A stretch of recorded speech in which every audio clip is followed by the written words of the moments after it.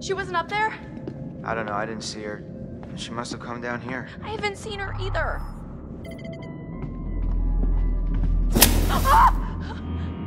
Did that just happen? Damn it, what is going on around here?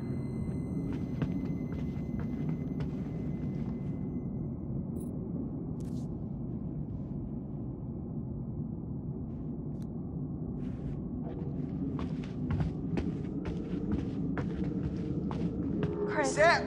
What? Chris, I just want to say what happened back there in the shed. I know how hard that was. Josh was your friend. Ashley, stop. No, I want to say, I mean, thank you.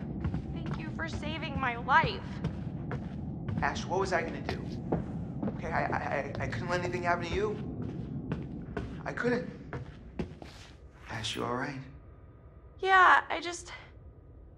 I know. You and Josh were close, Chris.